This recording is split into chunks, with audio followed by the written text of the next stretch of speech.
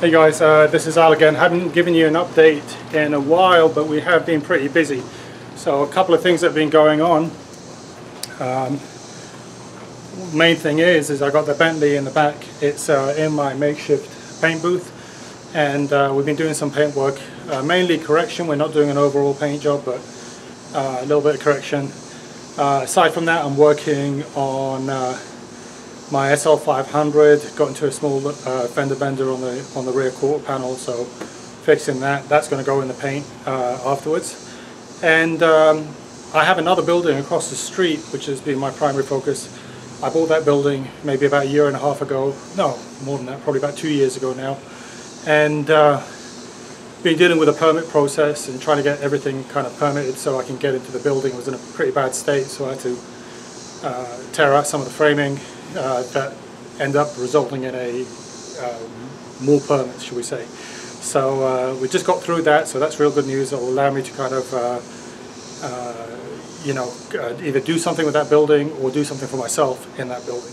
But anyway, so we've been doing some some paint work on the 98 Bentley. Um, not doing a complete paint job, but we're trying to fix some of the the severe paint damage that was on it beforehand. Um, if you remember the hood had some uh, uh, scraping on it, like as if something metal had scraped on it, so much so that it basically took the paint clean off down to the bare metal. So uh, we end up fixing that. Uh, we've obviously painted it. Uh, we painted uh, part of the front wing, mainly because the scratches was just so bad on the front wing that it just made made sense to do it on this side. Obviously um, that side uh, we, we didn't touch and uh, we'll probably be able to fix it with buffing. And I, honestly, I'd rather uh, I'd rather buff than uh, than try to uh, paint because you, you can open up uh, problems if you can you can get into some problems if you try to paint something. Um, one thing to notice is that there is a little bit of trash here and there in the paint, but we think that we can get that out with with uh, you know compound and, and uh, wet sanding and buffing.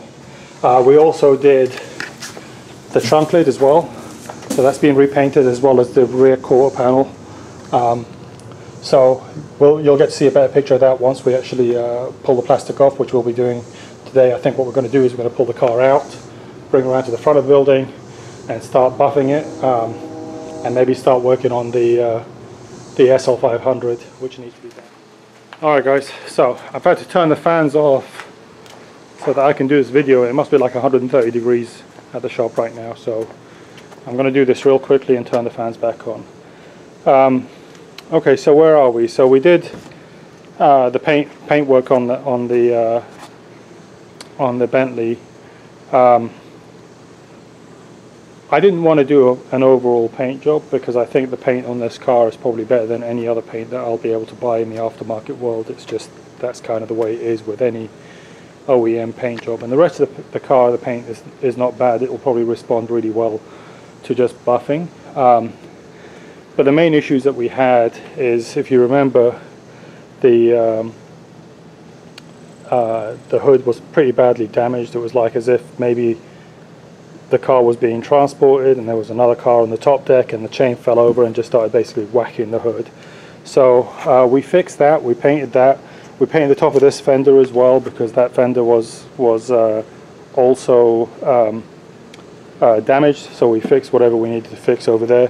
The paint came out pretty nice. I mean it's got a little bit of trash in it but nothing that uh, we can't buff out so that's, uh, that's nice. Um, Likewise, uh, the trunk lid wasn't in great shape, so we painted the trunk lid and uh, came out okay. And then we also painted this rear quarter panel, which had scratches all over it, and the scratches were just way beyond beyond uh, um, fixing. So we do have uh, to deal with a little bit of a blend line over here so that's something that we need to fix with buffing and obviously we've got another one over here and one over there. So um, that's something that we should be able to fix with buffing. Um, not a huge fan of burning paint in, but uh, again I don't want to do an overall uh, paint job. So uh, this is basically what we got. Um, so that's it pretty much. I think this is this is mostly uh, uh, mostly done now. Uh, the next car that's in the paint room is my 98 SL 500 again, and uh, that car um, has some uh, damage to the, to the, rear wheel arch. Uh, it was a, a, a, small accident that happened that damaged the rear wheel arch, so we're fixing that. Um, but yeah, I'm, I'm, excited about this car. This car's starting to turn into a real car. It's already uh, registered and ready to go. It's just a matter of now fixing some of the key issues. Um, I need to get into the air conditioning system because obviously it's uh, it doesn't work. For some reason, the control panel, uh, the dial for the air conditioner, I can actually hear the compressor engage and turn on and off, but the dial doesn't seem to work. So whatever um, is connected to the back of the dial seems to have worked its way loose. Um, uh, so I need to fix that, and obviously the, the, electric windows are a problem as well. And I've, I've, i think the window regulators on these cars is really, really expensive. So uh, I, probably fix the air conditioning first and live without the windows if I have to. Um, but that's basically where I am, and uh, I think it's starting to look like a real car. So once we get it buffed, I'll put the lights back on, put the grill back on. I'll give you an update. All right, hey guys, um, I'm back in the shop tonight. This is uh, just a quick uh, visit, really just to bring the camera back because I keep forgetting it here at the shop and I haven't had an update in some time. But while I'm here, you know, uh, we've pretty much uh, got done with the um, with the Bentley, although we may have to do some a little bit of touch up and redo. Unfortunately, the kid that uh, is helping with the bodywork, he was buffing on the hood and uh, he uh, burnt a little bit of a section, you know, where the hood hump goes up.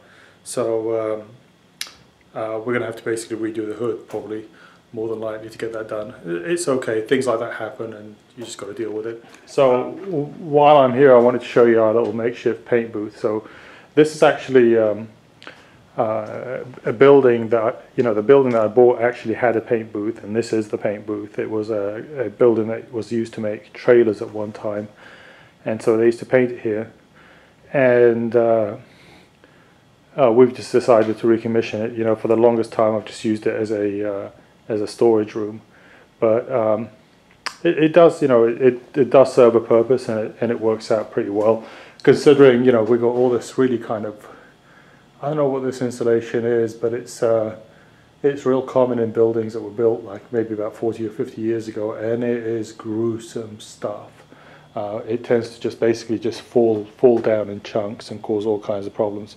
So it's nice to have, uh, you know, this little section. Um, what we were doing on this car is that uh, I actually got into a little bit of a fender bender uh, a few weeks back and uh, managed to uh, crease the, the wheel arch. So um, we ended up having to basically uh, redo this this wheel arch section. It came out real nice, which is uh, which is pretty good. Little bit of trash right over here, and I think that was actually an insect, which kind of sucks. But what I'm going to do is I'm going to pull the masking tape off um, and pull the sheeting off off this car right now, so that um, it's quickly getting ready for reassembly. I'm not going to reassemble it right now. You know, really the only thing that needs to come back on is we need to put the hard top back on. It's soft top's on right now. And uh, tail light and antenna.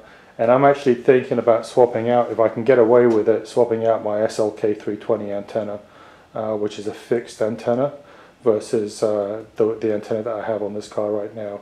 I think the SLK antenna is, is uh, much more resilient and I'm getting real tired of uh, try fixing the uh, the antenna that's uh, that you know the extendable antenna the power antenna that comes with these cars. So that's the plan and I'm going to set the camera up and do a quick reveal take, take the sheeting off and then we can take a quick look around. All right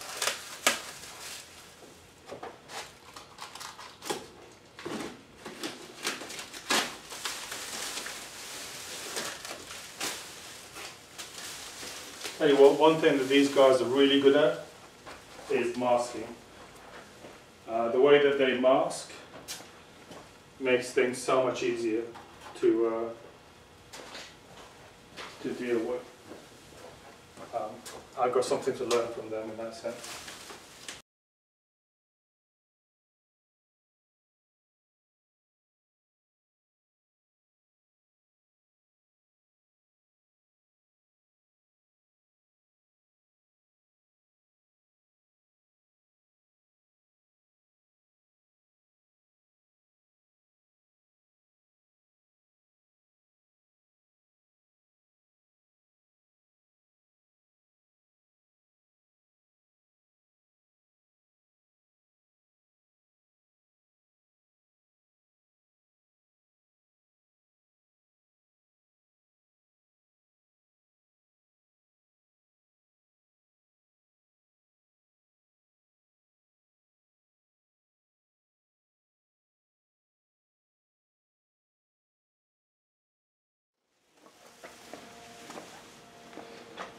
So you can see stellar job.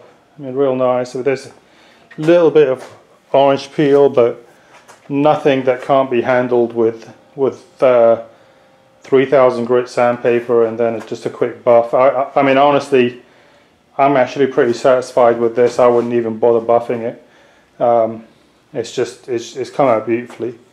Um, I would just leave it like that, to be honest with you. I mean, I, don't know how well you can see, but um, not really that bad, not really that much texture.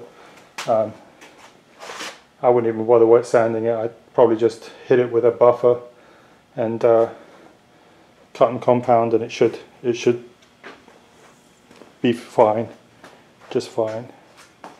So uh, happy about this. At least one that's one result. I'm gonna uh, clean up a little bit, get rid of some of this all this stuff, throw it away, and uh, we should be ready to assemble this car on Tuesday. And I'm going to drive the the Jag back uh, up here the white Jag um, so that we can bring it in here and start working on that next. And uh, take this one home. So this is a mission accomplished. So I'm pretty happy about that. Nice deal alright guys so just wanted to give you a, qu a, quick update on what else we've been doing. So really it's this one um, and then we'll uh, you know uh, bring in we'll probably take the hood off the on on the Bentley rather than trying to bring the whole car back in and mask it. Take the hood off. That way we can wash it clean it uh, degrease it and everything else like that and then reshoot it. Um, for some reason there was a bit of trash on that car. Um, you know where we painted it there was a little bit more trash than than I wanted to deal with but I think the problem uh, the guys who did the work they they uh, they think it's just kind of the, the the paint booth, but I don't actually think it's a paint booth because I've painted cars in my garage and I didn't get any close anywhere close to the amount of trash. But I think that the car just needed to be cleaned, like scrubbed, uh, before we put it in the booth, and we didn't do that. We just masked it, and uh, that was probably not the uh, not the wisest thing. So. Um, I think next time around, you know, we can wash the floor, set the stands up, and I don't think you're going to have that much problem. But anyway, that's it from me, guys. Um, again, always thank you very much, and uh, look forward to catching up with you next week or whenever we make some progress. All right, take care. Bye bye.